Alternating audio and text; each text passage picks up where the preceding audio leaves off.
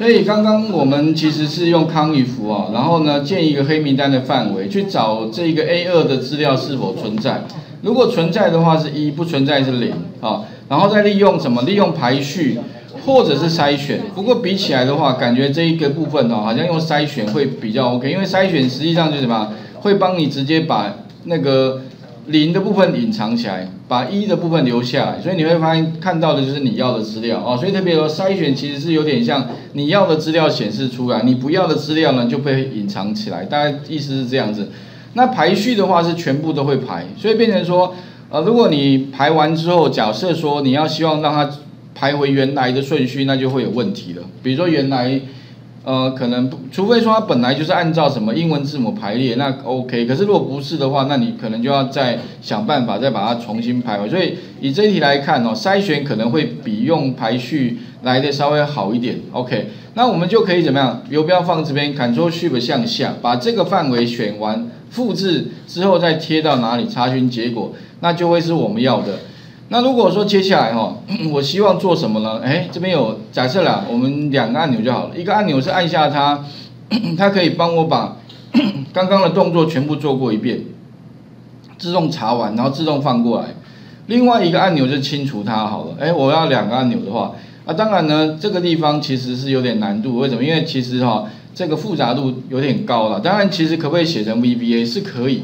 只是说，也许你们现在功力还不够了，那怎么办？如果你还不会，没关系，我讲过，你至少要会什么了？就是录制剧集吧。所以待会的话，如果我希望增加两个按钮，我先把那个这个开发人员先打勾好了，OK。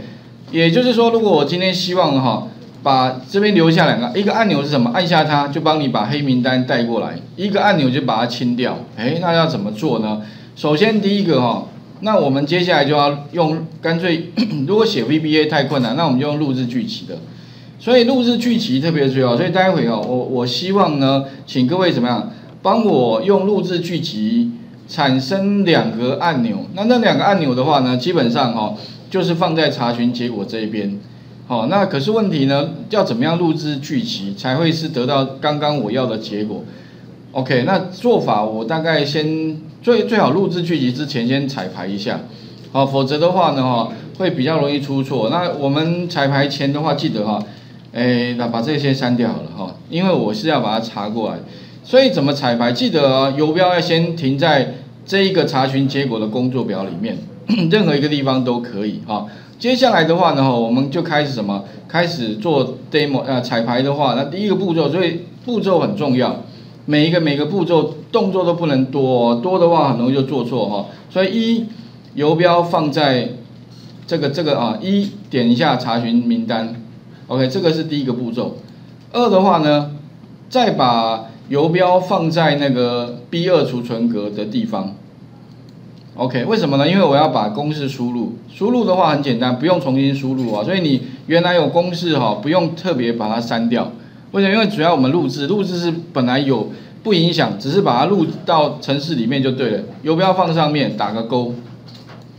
OK，好，然后呢再来往下填满，反正就把你刚刚做的动作全部做过一遍。好，填满完之后再做什么呢？再把游标放在 B one。哦，所以特别注意啊，切过来第一次先放这个 B 二是做什么？做那个呃输入康 if 公式。